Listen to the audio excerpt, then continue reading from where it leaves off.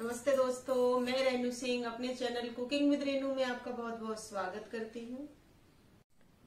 आज की मेरी रेसिपी है मोटी मिर्च का भरवा अचार बनाने की। मिर्च के अचार के बहुत सारी वीडियो मेरे चैनल पर अपलोड हैं जो आप लोगों ने बहुत पसंद किए हैं। आज जो हम ये मोटी मिर्च का अचार बनाएँगे, इसको राजस्थानी स्टाइल में बनाएँगे। राजस्थान साइड में इस तरह से मिर्च का अचार बहुत बनाया जाता है।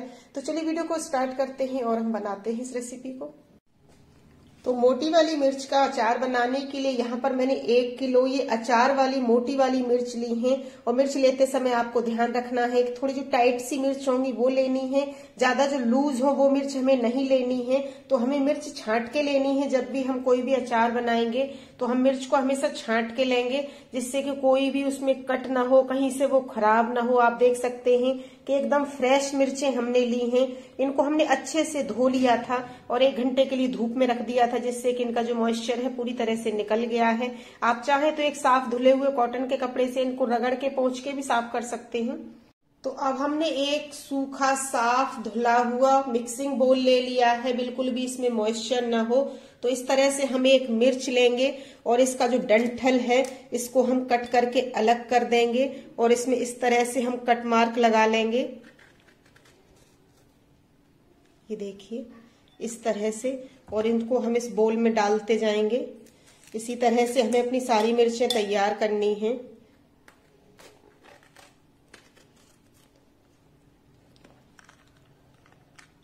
ये देखिए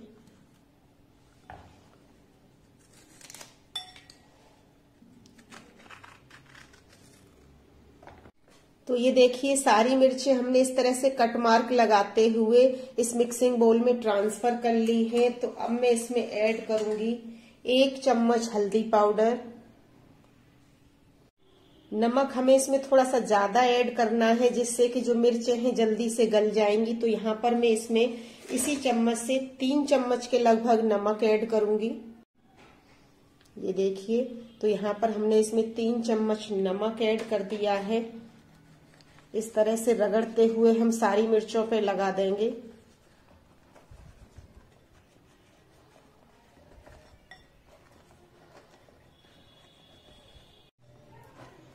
तो ये देखिए, नमक और हल्दी मिर्चों में अच्छे से लग गया है। तो अब हम इसको ढक के चार से पाँच दिन के लिए इसी तरह से छोड़ देंगे। दिन में एक दो बार हम मिर्चों को पलटते रहेंगे।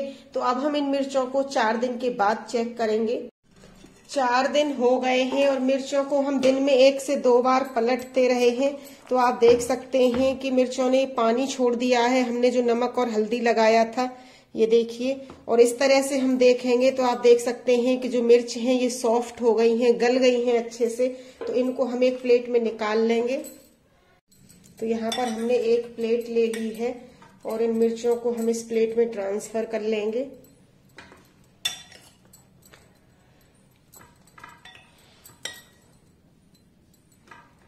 ये देखिए, इस तरह से और सिंगल लेयर करते हुए हम प्लेट में इनको फैला देंगे और इस पानी को अब हम फेंक देंगे। इसका यूज़ हमें नहीं करना है।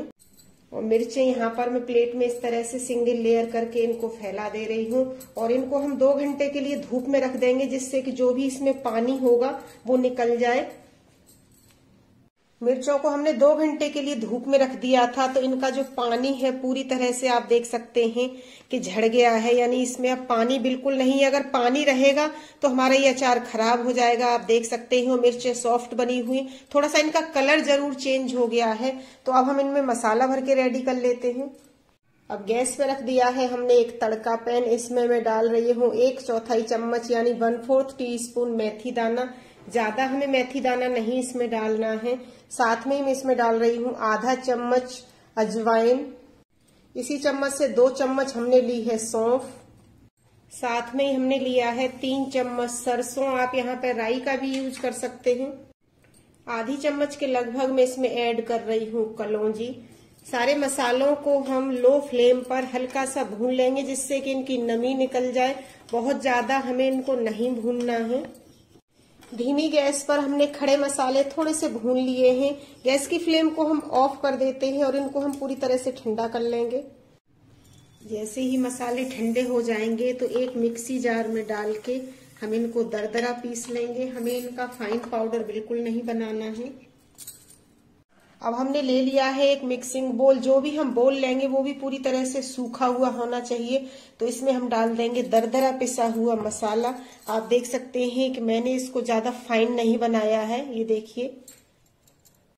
अब मैं इसमें ऐड कर रही हूँ खट्टेपन के लिए एक चम्मच आमचूर पाउडर एक चम्मच हल्दी पाउडर कलर के लिए आधा चम्मच कश्मीरी लाल मिर्च पाउडर जिससे अचार का कलर अच्छा आएगा, ये तीखा नहीं होता है। फ्लेवर के लिए थोड़ी सी मैं इसमें ऐड कर रही हूँ हींग। अब मैं इसमें ऐड कर रही हूँ एक चम्मच सफ़ेद नमक और साथ में ही मैं इसमें ऐड कर रही हूँ एक चम्मच काला नमक। और अब मैं इसमें ऐड कर रही हूँ एक बड़ा चम्मच सरसों का तेल। यहाँ पर मैंने तेल को गरम नहीं किया है। अचार की सेल्फ लाइफ बढ़ाने के लिए यहाँ पर मैं इसमें एक चम्मच विनेगर यानी सिरका भी ऐड करूँगी। थोड़ा सा सिरका आप अचार में ज़रूर ऐड करें, इससे जो अचार है, हमारा जल्दी खराब नहीं होता है। तो यहाँ पर आप देख सकते हैं कि मैंने एक चम्मच ये सिरका लिया है तो इसको भी हम इसमें ऐड कर देते हैं। अब हम सारी चीज़ों को अच्छे से मिक्स कर लेंगे। अच्छे से मिक्स करके आप देखेंगे कि जो हमारा ये अचार का मसाला है, ये बिल्कुल रेडी है। ये देखिए।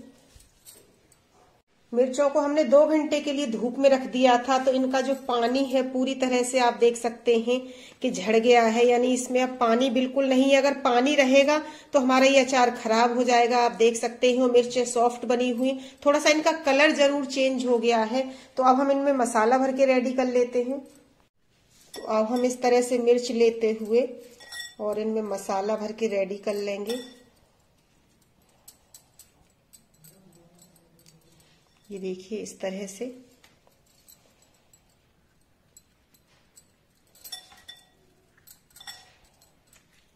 अच्छे से दबाते हुए हमें मसाला भरना है।